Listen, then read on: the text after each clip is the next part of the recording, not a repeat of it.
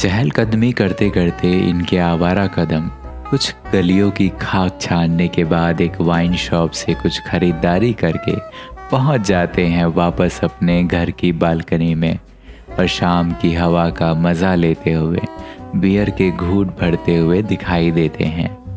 उनके सामने रखे हुए छोटे टेबल के ऊपर कुछ वेफर्स और पीनट्स होते हैं जिसका इस्तेमाल ये दोनों चखने की तरह कर रहे होते हैं। अश्विन अपने बाइनोकुलर से बीच बीच में आसपास नज़र मारता है। दोनों ने हल्के टी शर्ट पहन रखे हैं। राहुल ने एक ट्राउज़र पहना है और अश्विन ने बरमूडा। दोनों ही बियर की चढ़ती खुमारी का सिप सिप करके मज़ा ले रहे हैं और उनके कमरे में रखे म्यूज़िक सिस्टम से बेहद सुरीला गाना बज रहा है। अश्विन बराबर अपने बाइनोकुलर से उस लड़की की बालकनी में झाँक रहा था, लेकिन उसे कुछ दिखाई नहीं दे रहा था। अश्विन ने घड़ी की तरफ़ देखा, जो उसके कमरे की दीवार पर टंगी हुई थी। रात के साढ़े दस बज रहे थे। अश्विन को इस तरह बराबर घड़ी देखते और बाइनोकुलर से झांकते देख राहुल कहता है अरे, इधर ला बेटा, दूरबीन लगा के जो तुम नहीं देख पा रहे हो ना, वो हमारी नंगी आँखें देख लेती हैं। वो उस तरफ़ देखो। राहुल इशारे करके समझाता है अश्विन को दूसरी खिड़की की तरफ़। तो अश्विन बड़ी तालीनता से लग जाता है इस लड़की को ताड़ने में और राहुल वहाँ से उठते हुए कहता है। अश्विन के हाथ में बियर और एक हाथ में बाइनोकुलर लेता है और कहता है, वाह, क्या कयामत है यार। इतने में लड़की जॉइंट फूकते फूकते अपने कमरे में लगे मिरर के पास जाती है और अपने नेकलेस चूड़ियाँ, गले की चैन निकालने लगती है। जैसे धीरे धीरे अपने आप को किसी बंधन से आज़ाद कर रही हो। फिर कुछ देर अपने आप को आईने में देखने के बाद अपना ब्लाउज उतार देती है। तो कुछ ज़्यादा ही हॉट लग रही थी वो। उसके बाल खुले होते हैं। फिर वो अपना पेटीकोट भी उतार देती है। अब वह सिर्फ़ ब्रा और पेंटी में थी, जैसे कोई बिकनी मॉडल हो। हुस्न तो उसके अंग अंग से टपक रहा था। मानो अप्सरा लग रही थी। अश्विन तो ख्यालों में उसको ऐसे सोच रहा था जैसे उसको पर लग गए हों और उसे वो किसी बिकिनी परी की तरह लग रही थी। अश्विन बाइनोकुलर राहुल की ओर बढ़ाते हुए उसको देखने के लिए इशारा करता है। राहुल जैसे ही देखता है, बोल पड़ता है हॉट है यार। अश्विन ये सुनकर जवाब देता है, अब तू देखता जा, अभी तो शो बस स्टार्ट हुआ है। राहुल भी मज़े ले रहा था इस मनोरम सौंदर्य पूर्ण शो के। और वो कहता है हाँ यार अच्छा तू प्रपोज कर रहा है या नहीं? अश्विन खिलखिलाते हुए कहता है ऑनेस्टली मुझे तो ये थोड़ी सी आउट ऑफ़ लीग लगती है। मैं तो बस शो से खुश हूँ, मेरे भाई। राहुल टॉन्ट करने के अंदाज में कहता है, अबे आउट ऑफ़ लीग या? आउट ऑफ़ औकात? हाँ? साले फट्टू, अबे, इश्क भी करना है और रिस्क भी नहीं लेना। ऐसा कहीं होता है क्या?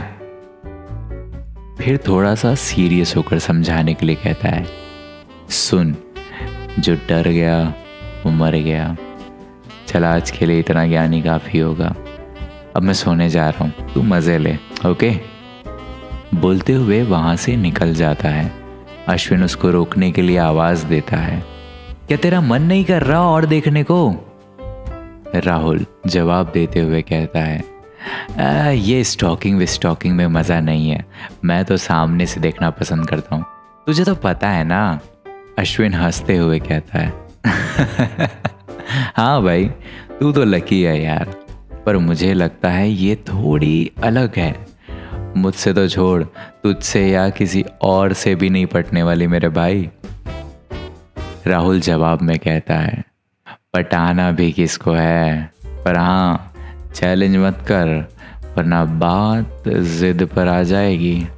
अश्विन उसकी बात सुन के हँसते हुए उसे कहता है अच्छा चल, ठीक है, चल गुड नाइट राहुल जो अश्विन को बोल के आया था कि वो सोने जा रहा है, अपने कमरे में खिड़की के पास खड़ा होकर मोबाइल कैमरे को जूम करके उसी बालकनी की तरफ़ करके रिकॉर्डिंग शुरू कर देता है। वो देखता है कि लड़की अपने कमरे में अकेले मादक डांस कर रही है। बहुत खुश नज़र आ रही है वो। उसके कमरे से अंग्रेज़ी गाने की सुरीली धुन सुनाई दे रही है, जो उसके डांस को और भी मनोरम बना रही है। वो लड़की नाचते नाचते अपने अंत वस्त्रों को भी निकाल देती है और खुद के बदन को सहलाने लगती है। उसका बदन ऐसा लग रहा था जैसे ऊपर वाले ने बड़ी फुर्सत से तराश कर भेजा है। उसका हर एक अंग अपनी ही दास्तान सुना रहा है। इस तरह वो करिश्माई थी कि किसी भी साधु की, सदियों की तपस्या भंग कर दे। वो मेनका रंभा आदि अप्सराओं जैसी खूबसूरत थी। राहुल तो फिर भी एक आम लड़का था। आज के ज़माने का कैसे नहीं पिघलता। राहुल का गला सूखने लगा है। वो अपनी पलकों को बिना झपकाए एक टक उसे ही देख रहा था। जैसे पल के झपकाने से कोई सीन मिस हो जाएगा।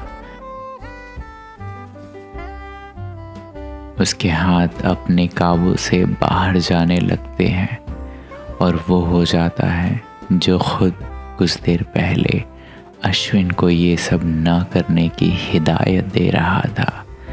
बेबस हो गया था राहुल भी, ऐसी मायावी हसीना का हुस्न देखकर। अश्विन, राहुल और वो लड़की जिस सोसाइटी में रहते हैं, उसके सामने का रास्ता बिल्कुल खाली था। गेट के पास वॉचमैन भी नहीं था।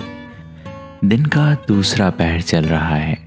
समय कुछ तकरीबन साढ़े बारह के आसपास होगा। अचानक एक रिक्शा आगे गेट के पास आकर रुकती है और उसमें से वो लड़की बाहर निकलती है।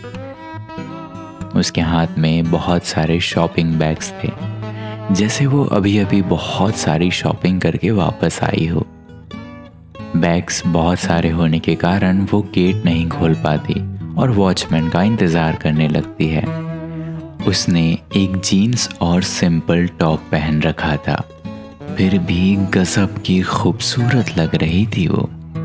ऐसा लग रहा था जैसे वो सुंदरता की नहीं, सुंदरता उसकी मोहताज हो। कपड़े वो चाहे कैसे और कुछ भी पहन ले, मगर उसकी खूबसूरती में जरा भी फ़र्क नहीं पड़ सकता था। वो इंतज़ार कर रही थी, तभी वहाँ राहुल अपनी बाइक से आकर रुक जाता है और अपनी हेलमेट निकालते हुए उसकी तरफ़ देख के कहता है, लगता है आप यहाँ नहीं हैं? लड़की ने जवाब दिया, जी हाँ। राहुल फिर पूछता है, क्या मैं आपकी कोई मदद करूँ? बोलते हुए वो हाथों में लटके बैग्स की तरफ़ इशारा करता है। लड़की फिर जवाब देती है, नहीं नहीं, मैंने सुना है अनजान शहर में अजनबियों से मदद नहीं लेनी चाहिए। राहुल पूरे कॉन्फिडेंस के साथ कहता है, जी हाँ बिल्कुल, सही सुना है आपने, पर पड़ोसी से तो कर सकते हैं ना। मैं इसी बिल्डिंग में आपकी बालकनी के अपोजिट वाले फ्लैट में रहता हूँ। मेरा नाम राहुल है और आपका लड़की ने जवाब दिया, जी, साइमा। आई एम सॉरी मुझे नहीं पता था कि आप यहीं रहते हैं। मुझे लगा आप कोई स्टॉकर हैं और यूँ ही पीछे पड़े हैं। राहुल ये सुन के पहले तारीफ़ करने के अंदाज में कहता है हो वाह नाइस नेम फिर कमेंट करने के अंदाज में कहता है काश आप थोड़ा पहले यहाँ शिफ्ट होते तो शायद मैं स्टॉकर भी बाखुशी बन जाता। बोलते हुए हंस पड़ता है। साइमा चौंकते हुए कहती है, क्या मतलब? राहुल कहता है मतलब ये कि कुछ ही महीनों में मेरे इंजीनियरिंग के एग्ज़ाम्स ख़त्म हो जाएँगे और फिर कोई ना कोई कंपनी रिक्रूट कर ही लेगी। बीच में जो टाइम मिलेगा, वो घर वालों के साथ बिताऊँगा। वो लोग भी मुझे मिस कर रहे हैं ना। ये सुन के साइमा स्माइल करते हुए नाइस कहती है। राहुल उसके जवाब में कहता है, चलिए, मैं आपकी मदद कर देता हूँ। एटलीस्ट लिफ्ट तक आई प्रॉमिस आप सेफ़ हैं मेरे साथ. राहुल इंसिस्ट करते हुए कहता है तो साइमा स्माइल करते हुए हाँ में सर हिलाते हुए श्योर कहती है। दोनों लिफ्ट की तरफ़ बढ़ने लगते हैं। चलते चलते राहुल कहता है, अब तो हम पड़ोसी हो गए हैं। अगर कभी वक्त मिले तो आपको मैं शहर घुमाना चाहता हूँ। ये सुन के साइमा सवाल करती है हम्म तो कहाँ घुमाएँगे आप? राहुल कहता है, पास ही में एक मॉल है। राहुल की बात पे कोई खास रिएक्शन नहीं देती है साइमा। तो राहुल को लगता है कि साइमा कुछ खास इंटरेस्ट नहीं ले रही है। तो बात आगे बढ़ाते हुए कहता है, उसके सामने एक चाय का स्टॉल है, बबलू चाय शॉप यहाँ की वर्ल्ड फ़ेमस चाय बनाता है। साइमा कहती है, मैं चाय नहीं पीती।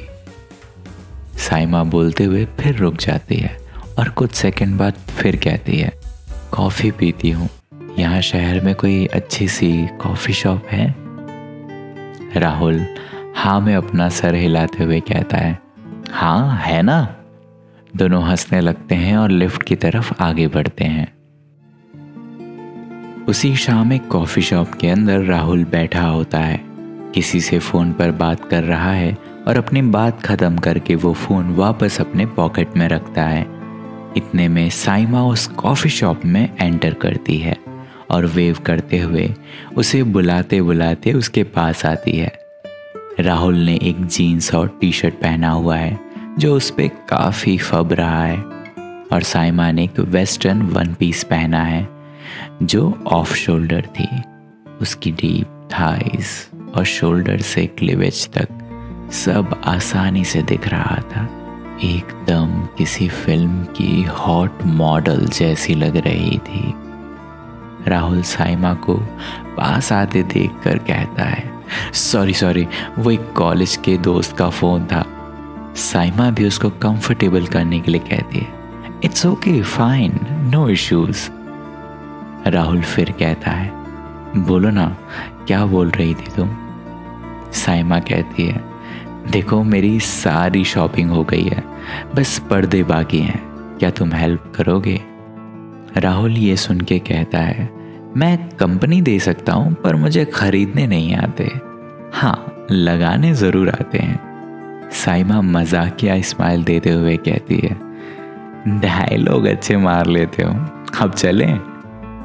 राहुल भी हाँ में अपना सर हिलाते हुए कहता है, जो हुकुम मोहतरमा, चलिए। दोनों हँसते हुए कॉफ़ी शॉप से बाहर निकल जाते हैं।